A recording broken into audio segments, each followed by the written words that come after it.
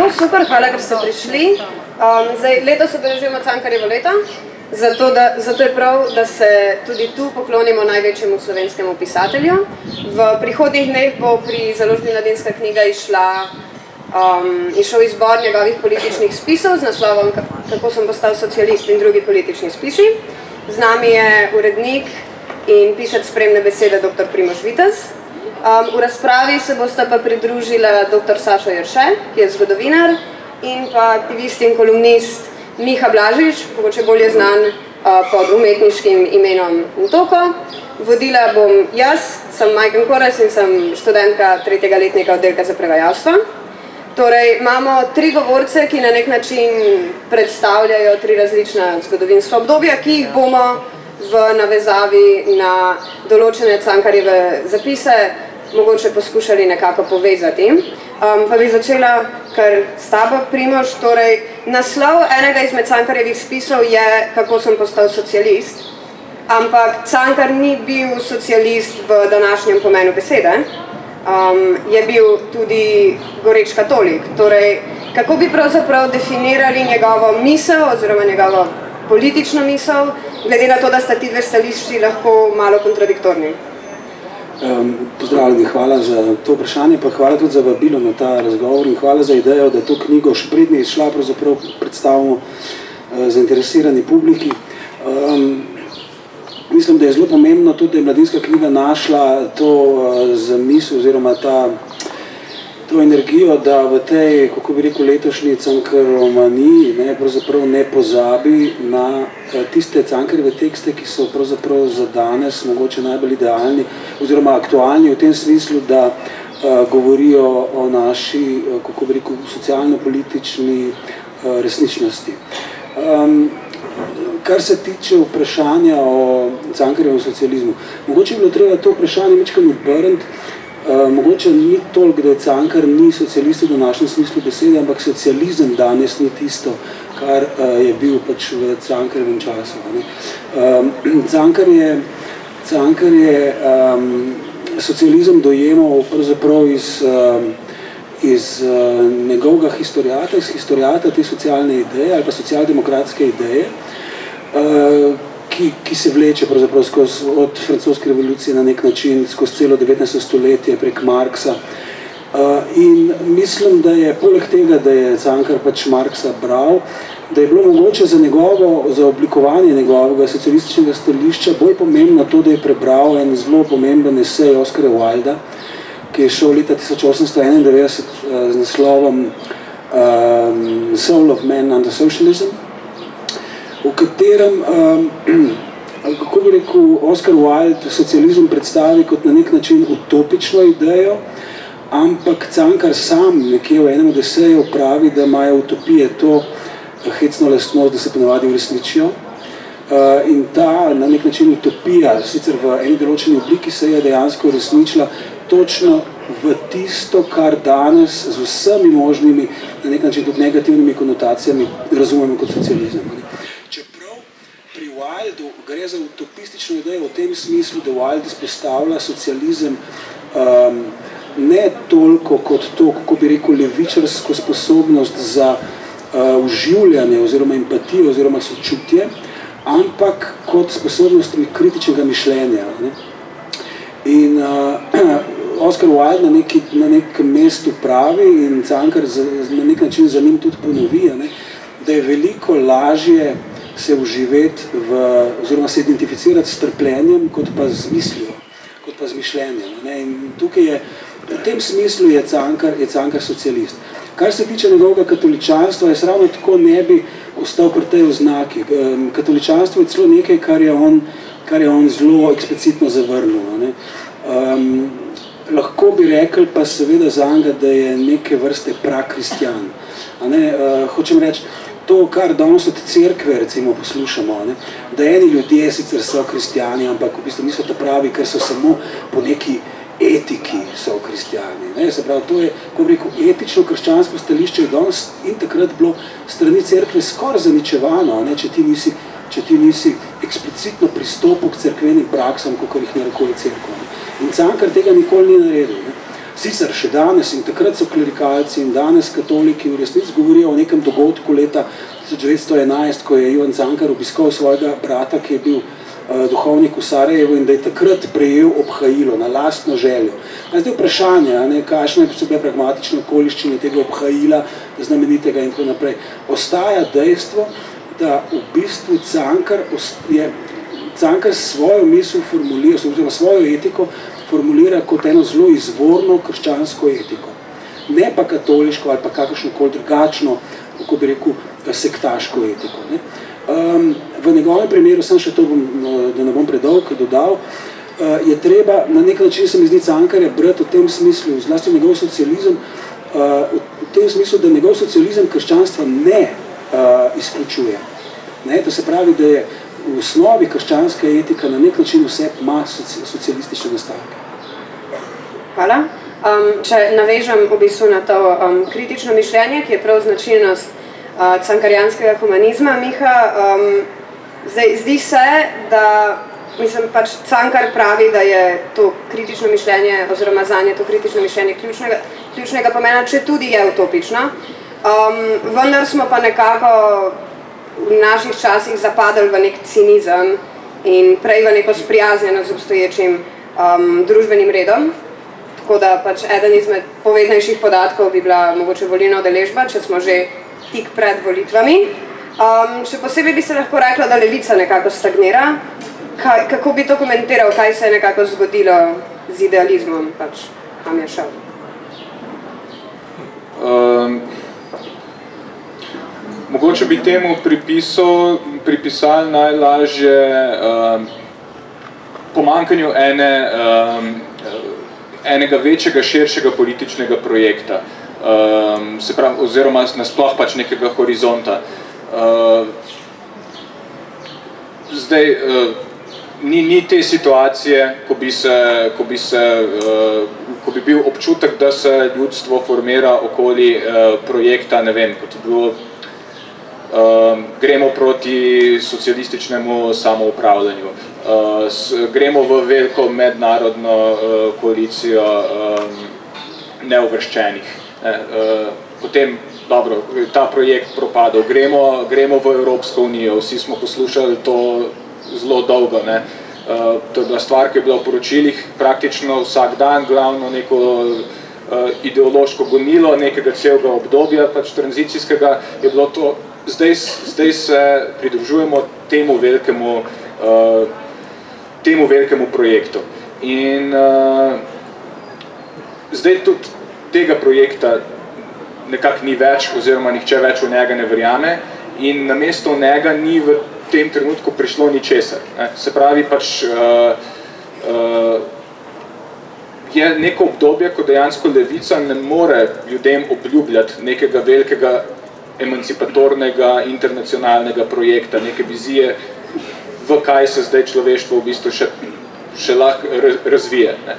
In uh, to, to je v bistvu moment, ki ga je zelo spretno napolnila uh, tukaj neka v bistvu bolj nacionalistična desnica. Uh, se pravi, če nimamo zdaj nobenega nobenega emancipatornega projekta, ni česar, kar na podlagi česar bi, nobenega ekonomskega projekta, ki bi še povezoval ljudi med sabo na neki, neki širši ravni, potem ostane uh, ta obljuba, da uh, bomo zavarovali to, kar pa zdaj je, neko etnično narodovo bit. Ne? Se pravi, pač, um, mi vam ne bomo obljubljali nekaj, kar vam ne moramo dati, tako kot dela levica, ampak uh, vam bomo popustili, da ste to, kar ste. Ne? Vam bomo pustili, da pač govorite slovensko, pijete vino, jeste klobase, te stvari, ki jih pač tukaj počnemo, to, to je zdaj pač ta skrajni horizont, ne, uh, ki je. Ne. In tudi vidimo v bistvu, da, da politika se je na to nekako uh, mogla, mogla odzvati. Um, spravi, zelo se je lokalizirala uh, in ni, ni videti na nek način uh, iz strani nobene politične opcije, opcije nekaj več kot um, temu bi rekel lo, upravljanje lokalnih zadev. Ne. Um, in uh, tako da iz tega jasno sledi nezanimanje za, za politiko, jasno sledi tudi nizka volivna udeležba, ljudje se ne počutijo reprezentirani v, v, v teh institucijah in upravičeno se ne počutijo reprezentirani v teh institucijah. Um, tako da to je, to je ta neko obdobje praznine, se mi zdi, ki ga levica v bistvu na nek način še, še išče ta novi internacionalni projekt, ki bi lahko to zapolnil. Hvala.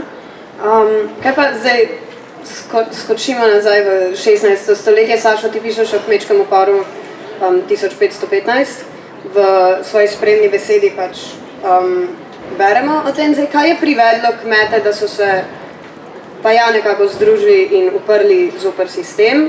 Lahko preberemo tudi, da jih ne bi mogli oklicati za, za revolucionarje v današnjem pomenu besede, ampak da so to vseeno na nek način bili. Zdaj, kako, v kakšnem smislu? Ja, najprej zahvaljujem za povabilo in za vzpostavitev te paralele, ki si jo naredila Majker, um, paralele med 16. stoletjem in kmečkimi punti in Sankarjem. Sam moram reči, da ta paralela ni bila prezenta. In ko sem zadnjič, ko sem zdaj te dni, ko sem se malo pripravljal na ta na zadnjič pogovor, ko sem načitev spet, ko sem listal pod Sankarju, sem izdel uh, impresivno, torej um, dvoje. Na eni strani njegova res, njegov, njegova elokventnost, njegov stilizem, njegove eh, retorične bravure, ki so eh, kako prikočal, slovesne, nedeljske, ki pa vse eh, nekako, pa nekako dišijo po vasi, senu in hlevu, moram tudi to reči. E, torej, e, ki pa e, so, torej, Zankar je nedeljsko branje, nedeljsko branje za teme, in tukaj se pa zdaj navezujem na svoje prehodnika, za teme, ki so teme današnjega um, vsakdanjika, krutega vsakdanjika, uh, so teme, e, torej Cankar je nezno, torej strašljivo aktualen. Uh, Cankar je strašljivo aktualen, Cankar je tisti razmislek, je, je štof za razmislek ob tej praznini, o katerim, je, o katerim ste vi govorili. Um, zdaj pa, če potegnem, in druga stvar, se pridružil eh, Primožu. Torej, eh, eh, Cankar vsekakor ni goreč kako. Cankar je antiklerikalc, je pa kristjan. Je pa kristjan in nič bolj se to ne kaže v tej njegovi gotovo nebolj znani in rekel, inspirativni torej noveli Hlapec Jernej. Ki je, ne sem kristjan, torej in je, on je kristjan in socialist, ampak tudi ancien režimski pisec. Eh, on, on se giblje znotraj mentalitetnega, eh, mentalitetnega okvira starega režima, ki ga vzpostavlja uh, cesar, duhovščina in tretji stan kmetje. Torej, to je čist, uh, to je čist predmodern, on ni modern pisec, on je predmodern pisec. On, uh, on, uh, on seveda, uh, on seveda in, in tisto, kar se pol na koncu zgodi, ne, torej, uh, temu hlapcu Jerneju, ne, ampak to se zgodi v sanjah, a veste. On, on, on pravi, on zažge tisto sitarjevo kmetijo, ampak jo zažge v sanjah, ne v realnosti. To je v sanjah. Torej, on, on, on razmišlja, on razmišlja znotraj, znot, povsem znotraj predmodernega sistema, znotraj, znotraj, povsem znotraj eh, eh, predmodernega, eh, da tako rečem, eh, političnega, političnega diskurza. Eh, hrati pa ima to, eh, to utopijo, ki je pa utopija kmet, ki je pa tudi predmoderna utopija, to je pa uh, utopija pravičnosti. In tukaj je pa, tukaj je potem pa lok do kmečkih puntov, ker pa kmečkih puntih ni šlo za nič drugega, kot za pravičnost. Kmetje niso hoteli, ne, kmečkom, kmetom so eh, v času socializma, ali oziroma v, eh, v drugi polovici 20. stoletja eh, komunisti pripisovali revolucionarnost. Ne. Ampak ja, oni so že bili revolucionarji, ampak ne v revolucionarji v tem smislu, da so hoteli vzpostavljati novi red, novi red, ampak so ga, revolucionarji so bili v tem smislu, da so hoteli čisti pravi red, ki temelji na, eh, eh, na konkordija, na, na vzajemnosti treh, eh, treh redov sveta, kot so rekli, torej duhovščine, plemstva in kmečkega stanu, to, to, to, torej tista, tista tisti postulat, ki, ki, ti tri, ki ti tri stanove drži skupaj in znotraj katerega naj se urejajo njihovi medsebojni odnosi teh, teh stanov, je pa pravičnost. In, in, in, in Cankarju, enako kot kmečkim kultorjem, je šlo za pravičnost. Uh, to, uh, ampak in je straš, torej, moram reči, zdaj, ko sem včeraj bral še enkrat tega klavca Jerneja, to je strašljivo. Poslušajte, tam imate en pasus na koncu, kjer on, kjer on, kjer on, uh, on išče pravičnost, ampak kjer išče? Iščejo med, uh, med prestolom in oltarjem, med cerkvijo in cesarjem. Nije, nije. In na koncu, ampak v sanjah, v sanjah, on, on se obrne na Boga pa pravi, kje je zdaj ta tvoja pravičnost? Torej, ta, ta, ta, ta, ta lok, ne, ta lok med, ali pa ta, to sorodstvo med Cankarjevo in med Cankarjevo agenda in pa agenda, agenda kmečkih puntov, ali pa to paralelo med Cankarjem in kmečkimi punti, da se kako mogoče vzpostaviti in, in, je, in je pravzaprav strašljiva. Ne, kaj, kaj, kaj to pomeni? Da se v 500 letih stvari sveta niso spremenile za pet. Hvala. Zdaj, če um, v bistvu navežem malo še na to aktualnost, um, imamo vprašanje zate, da ja, pač se, se zdi, da bi se lahko apliciralo veliko nekih stvari pač na zdajšnjo politično, kulturno realnost, pa kaj je v bistvu nekako ta povezoval, povezovalni element um, Cankarjevih zapisov? Ki jih dela. Pa jaz, če dovoliš, bi v bistvu se navezal na to, kar ste govorili Antoko pa Sašo, ker se mi zdi, um, um, ena od ključnih potez tega novega izbora političnih spisov je to, da je uh, sploh prvič v tak izbor političnih spisov uh, vključena tudi ena cela vrsta tekstov, ki jih mi ponavadi tretiramo kot čisto literaturo, ne kot esej, ne kot politično gesto, ne kot satiro in tako naprej. Klapec Irnej in njegova pravica je med temi teksti. Uh, zakaj? Točno iz teh razlogov, o katerih sta govorila, oziroma govorimo zdaj tukaj zadnjih deset minut. Um, hlapec Jernej išče pravico v tem smislu, da zase terja socialno pravičnost in pravice, ki izhajajo iz njegovega dela, iz njegovega preteklega in trenutnega sedanjega dela. To je, to je kako rekel, to iskanje pravičnosti, razmerje med razmerje med delom in posledicami dela je nekaj, čemur bi lahko na nek način rekli tudi gonilo zgodovine, zgodovine razrednih bojev. Dogaja pa se danes v Sloveniji, tukaj pred volitvami, kar recimo gledamo zdaj po televiziji, po Facebooku in tako naprej, nekaj, kar je zelo, kako bi rekel, zelo uh, razvidno uh, zgodovinski proces. Namreč, da se protesti v zvezi z nepravičnostjo do, do, do, do rezultatov in dela uh, rodijo v, ne, v nekih gibanjih, ki jim lahko rečemo levičarske gibanja. Na koncu pa, ko se levica na nek način izpoje oziroma vidi, da svojim kritičnim mišljenjem ne doseže, ni populistična, ne doseže množice, se zgodi to, da se ta tema preseli v desničarski diskurs. To se je zgodilo v času nacizma. Če se spomnite, Hitlerjeva stranka je imela v svojem imenu, v svojem imenu tudi delo. Je bila delovska stranka. Kar se je dogajalo lani, predlani na francoskih volitvah, Marine Le Pen je svoj volilni program eh, nacionalne fronta ne, utemeljila na nagovoru delavskega, zazprav delavcev, ki so brezpravni in tako naprej. Kar se danes dogaja, levica, od katere na nek način se mi zdi, to bom zdaj malo grobo rekel, ampak je ostalo bolj samo ime, levica. Veste, to je, kako rekel, meni je to neverjetno, neverjetna diagnoza sodobnega momenta, da imamo v bistvu edino levičarsko stranko, ko se imenuje pač z besedo levice. Levičarsko, levičarska stran političnega diapazona je tradicionalno tisto, kar je najbolj razčlenjeno. Danes ni več tako. No, kar se danes dogaja, delavstvo, do, do sadov svojega dela imate pravico, to danes govori socialdemokracija oziroma SDS. To danes govori SDS. In v tem smislu ne, eh, pride na nek način v zgodovini zelo pogosto, če ne zelo sistematično do preobrata, ko pri iskanju, ko rekel, pri tem fiktivnem iskanju človečnosti, ne, to ugotovijo tiste najbolj populistične stranke in to obračajo svoj prid. In to beremo tudi v hlapcu, ne toliko. Um, hvala. Um, zdaj, v bistvu, Ja, pravzaprav, um, kar si rekel, ne, da je želela slovenska social, socialdemokracija utemeljevati se vedno z navezavo na po eni strani na reformacijo, po drugi strani pa na kmečke upore. In je to pač neka paralela, ki jo dokaj konsistentno vzpostavljala. Um, a drži, a so bili res kmečki upori nek začetek neke kolektivne, kolektivne zavesti, oziroma vsaj kolektivne razredne zavesti?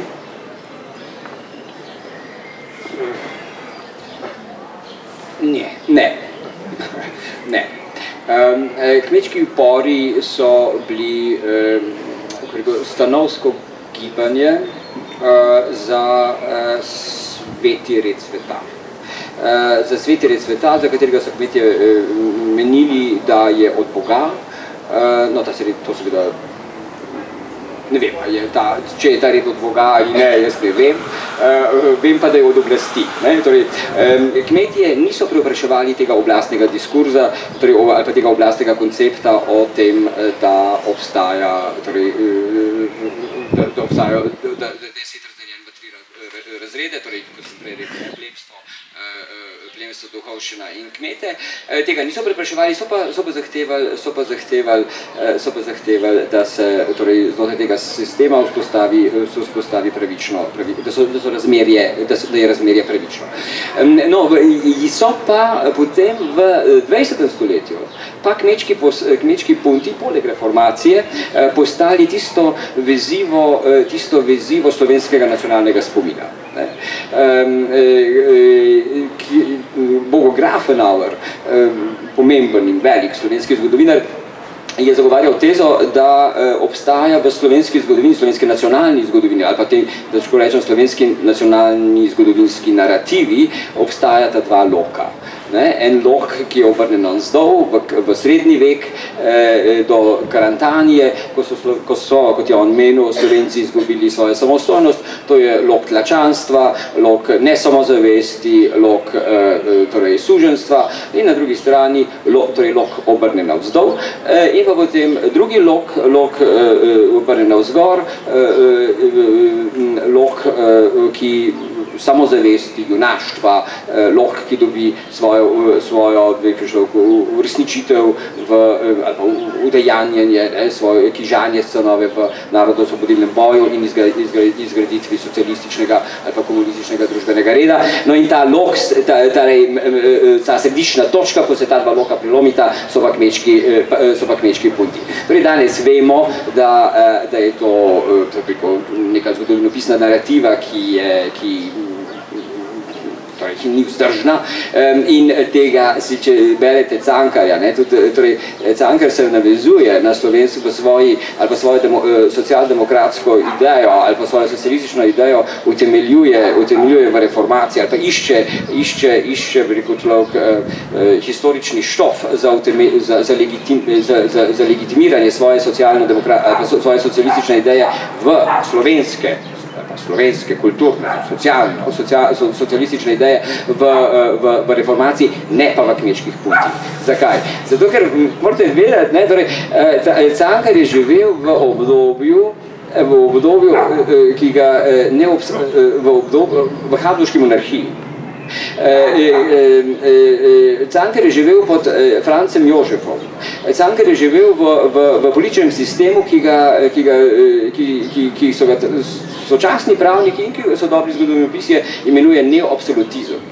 In, tam, in on je, se mi zdi, ne, zdaj, boš primoš ti povedal, sem mobil, eh, torej on je vendarle svojega, svojega interpretativnega in kritičnega eh, intelektualnega loka ni prenapenil. Eh, sklicevati se na kmečke punte pod Francom Jožefom je bilo nevar, je bilo tvegano.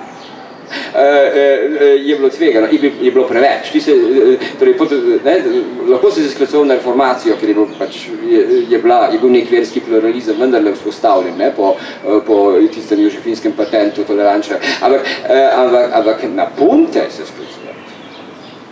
Pa, ni pa in, ali pa je bilo pa tveganje. In, in, in, in zato, zato, zato, zato se torej Cankar tega, tega, tega recimo, če danes govorimo o Cankarju, ne počne.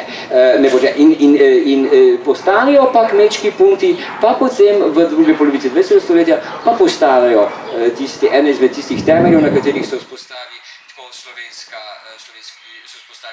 sodobni ali pa moderni slovenski zgodovinski spomin in se vzpostavi ta, da tako rečem, slovenska leva samozavest.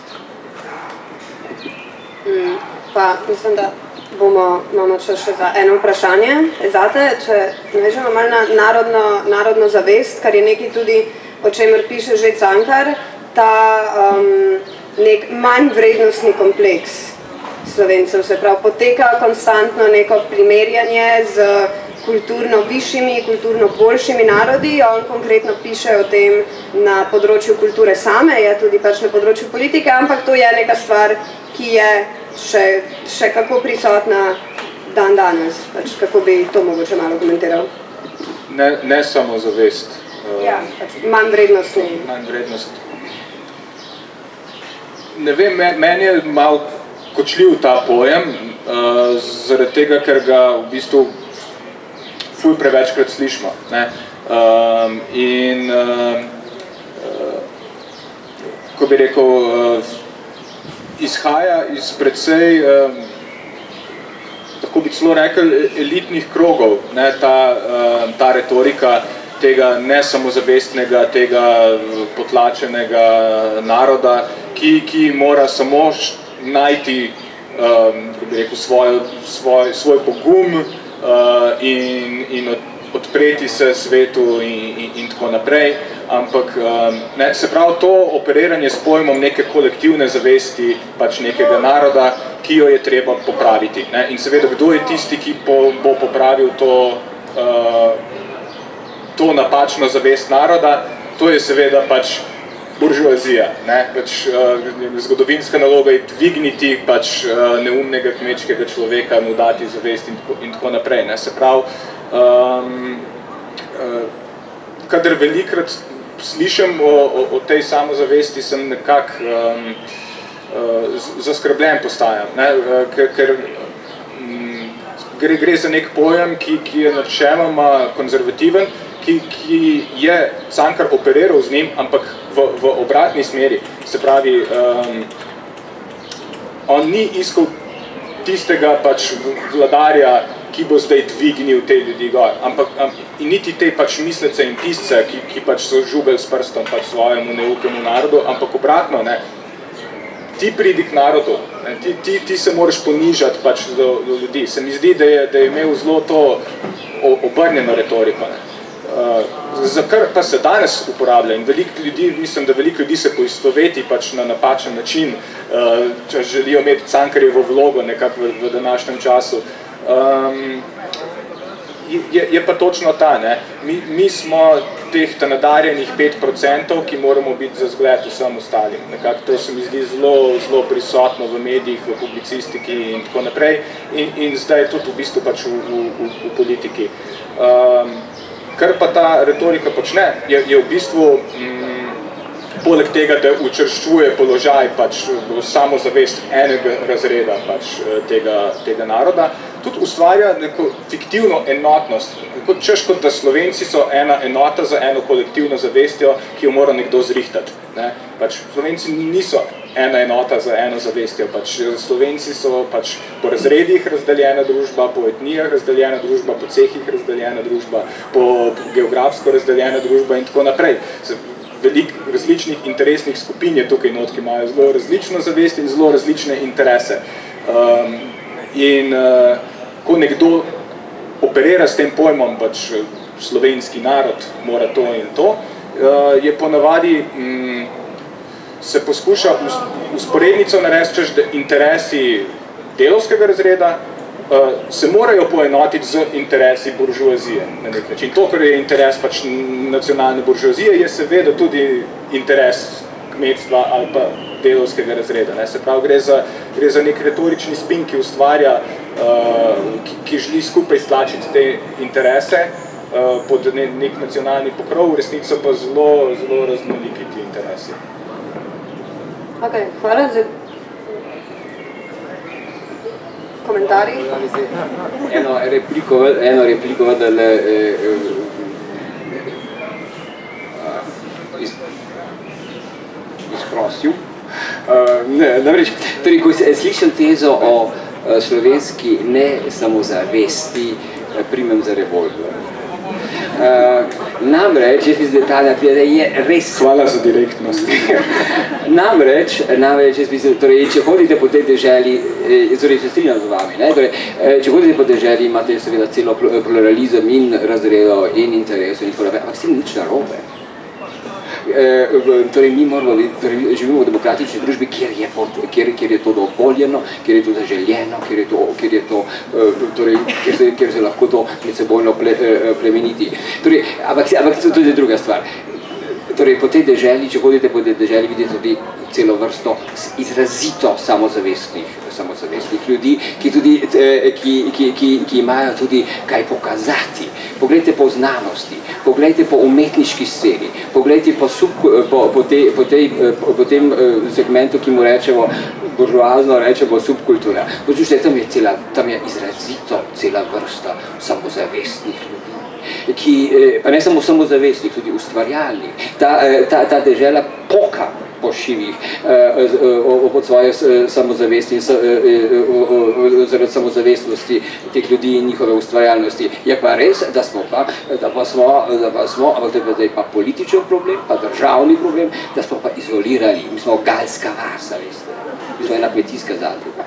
E, e, torej, e, in, in, in, in, in, tukaj, in zdaj je pa naloga politike, da pa to to pa je naloga politike, zdaj pa državljani sami ali pa sam ne moš nič, da, da, to, da, to, da, to, da te okvire raz, raz, razpre, da te zidove podre in da se umestim, da, torej, da, da, da začne ta prostor večkrat bolj odprto in živahno, živahno dihati in živeti in da se lahko ta samozavest in ustvarjalnost v polni meri raz, razpre in režim. Mogoče sem eno pombo zvesti, to samozavest, jaz se absolutno strinjam z vama.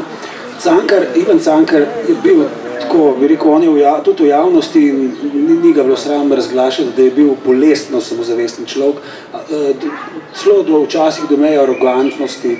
Um, drugi so ga včasih videli kot v bistvu celo čudaka znotraj, znotraj telesnosti. Treba je vedeti, da ta samozavestni človek je leta 1907 se dejansko odločil, da bo kandidiral na državnozborskih volitvah za Dunajski parlament.